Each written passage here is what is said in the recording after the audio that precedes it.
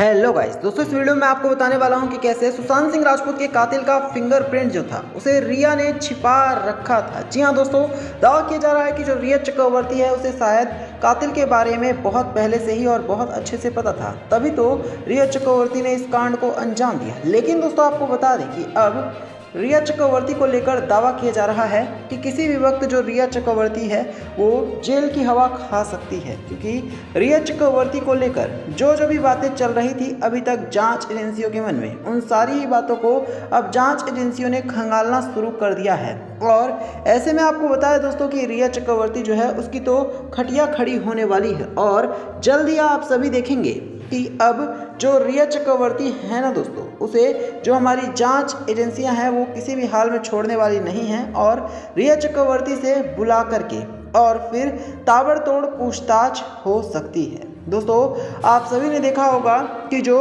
रिया चक्रवर्ती है, वो किस तरह से एक से बढ़कर एक कारनामों को अभी तक सुशांत के साथ अंजाम देती आई है, जिससे ये भी नहीं पता चल पाया है कि आखिरकार हमारे सुशांत सिंह राजपूत के साथ असल में हुआ क्या था। लेकिन अब जो हमारी जाँच एजेंसियाँ हैं, जब सुशांत सिंह राजपूत केस को पूरे बेहतरीन तरीके से सुलझा रही हैं तो उन छोटे छोटे पॉइंट्स पर भी नज़रें डाली जा रही है, जो कि सुशांत केस बहुत ज़्यादा ज़रूरी हो सकता है। और इसी वजह से अब जाँच एजेंसियाँ जो है, वो सुशांत सिंह राजपूत केस में फिंगरप्रिंट को तलाश रही हैं।